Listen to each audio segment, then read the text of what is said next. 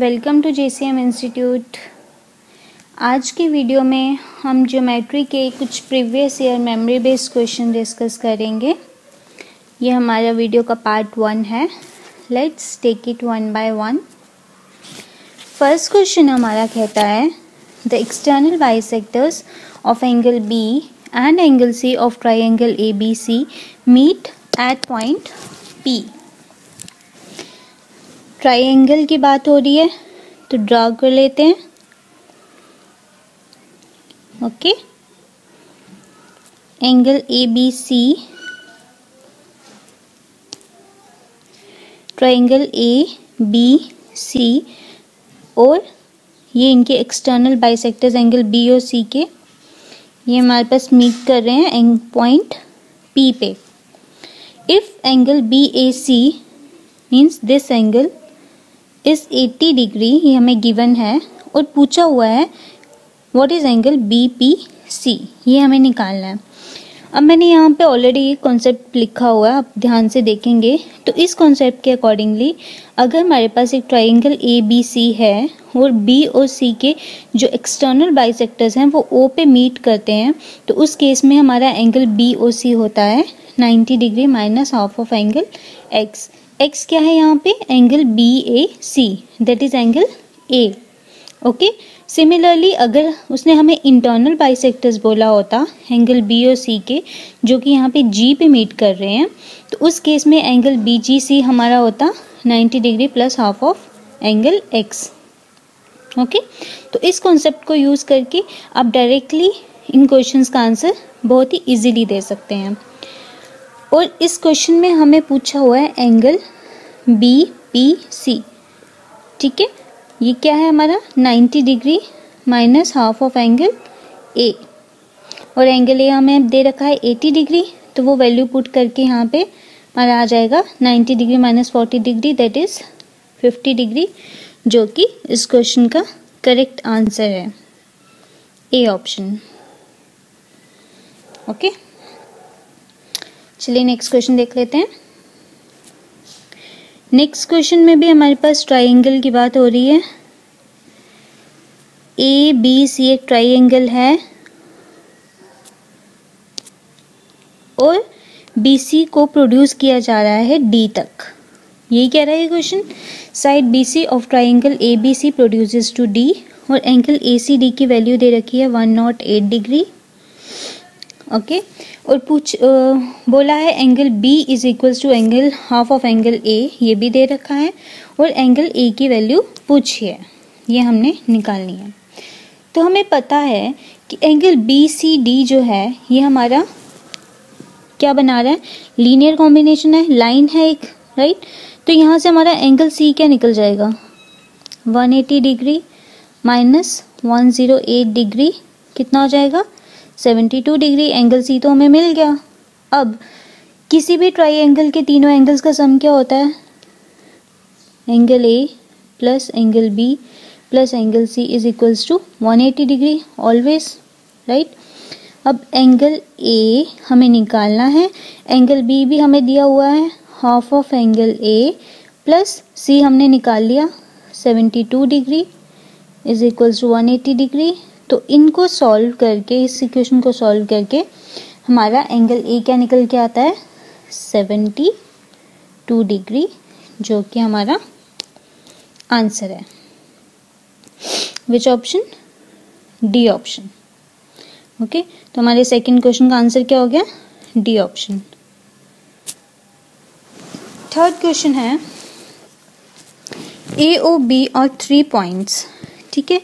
ई की लाइन में तीन पॉइंट्स हैं A O B and angle C is a point not lying on A O B C एक point है जो कि ए ओ बी पे लाई नहीं कर रहा है। मतलब कि वो कुछ एंगल बनाएगा ए ओ बी के साथ, ठीक है? अब उसने दे भी रखा है if angle A O C is equals to forty degree यानी कि सी यहाँ कहीं होगा? ये ए ओ बी और सी यहाँ कहीं होगा? उस ए ओ सी की वैल्यू उसने क्या दे रखी है? Forty degree. और बोला है कि O X and O Y are the internal and external bisectors of angle A O C A O C के इंटरनल बाइसेक्टर ओ एक्स और एक्सटर्नल बाइसेक्टर ओ वाई ठीक है? ये ओ एक्स और ये ओ वाई एक्सटर्नल बाइसेक्टर है मतलब दो इक्वल एंगल्स में डिवाइड करेगा और पूछा हुआ है बी ओ वाई की वैल्यू ठीक है? अब ए ओ सी उसने दे रखा है फोर्टी डिग्री तो यहाँ से हमारा बी ओ सी क्या निकल जाएगा? Same 180 degree minus forty degree क्योंकि एक ही लाइन पे है तो ये हमारा 140 डिग्री ठीक है?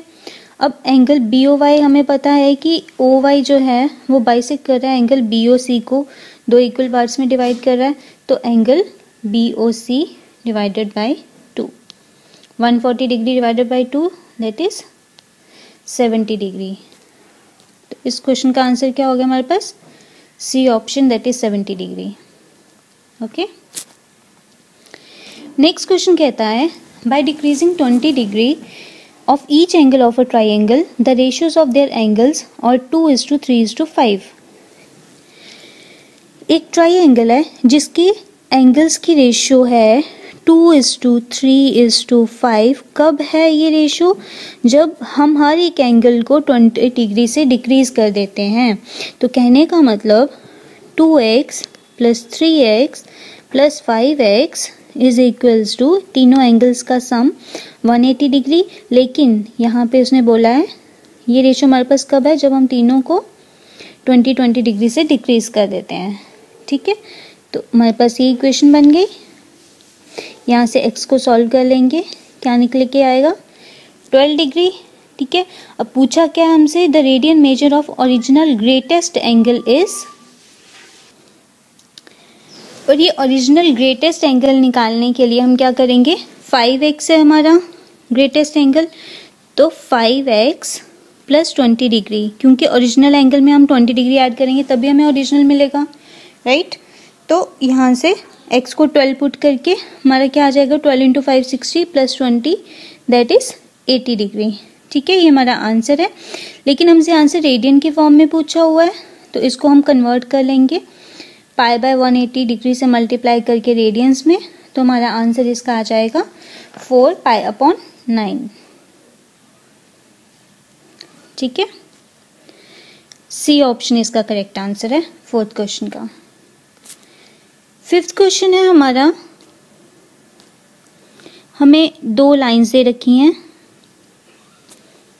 आई वन, आई टू, जो कि एक दूसरे के पैरेलल हैं, ठीक है? और इस तरह से दो लाइंस दे रखी हैं। यहाँ पे हम एक और लाइन ड्रॉ कर लेंगे, जो कि आई वन, आई टू के पैरेलल होंगी। ये हमारी आई वन है, ये आई टू है, इसे हम आई मान लेते हैं। ठीक है? ये एंगल हमें एक्स दे रखा है, ये टू एक्स दे रखा है। अब देखो ये लाइंस पैरेलल हैं तो अगर इसको एक्सटेंड करें तो ये इसको हम ए एंगल मान लेते हैं और इसको हम बी एंगल मान लेते हैं। ठीक है? जो कि हमें 75 डिग्री यहाँ पे दिया हुआ है। तो हमने इसको दो पार्ट्स में डिवाइड कर लिया ए और बी में। ठीक है? अब ये जो एक्स और ए हमारे यहाँ पे हैं, दो पैरेलल लाइंस को एक ट्रांसवर्सल लाइन कट कर रही है तो ये एक्स और ए कौन से एंगल्स बना रहे हैं? ऑल्टरनेट इंटीरियर एंगल्स राइट तो ऑल्टरनेट इंटीरियर एंगल्स की प्रॉपर्टी के अकॉर्डिंगली एक्स हमारा ए के इक्वल है। सिमिलरली बी जो है, वो हमारा टू एक्स के इक्वल है। Right right? अब ए प्लस बी हमें पता है कि सेवेंटी फाइव डिग्री हमें दिया हुआ है तो that is X plus two X three X that is equals to seventy five degree जो कि गिवन है। तो यहाँ से एक्स हमारा क्या निकला?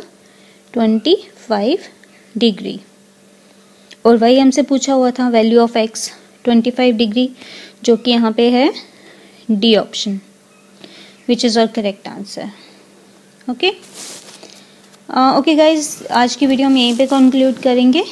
मिलेंगे नेक्स्ट पार्ट में कुछ और क्वेश्चंस के साथ। Thanks for watching.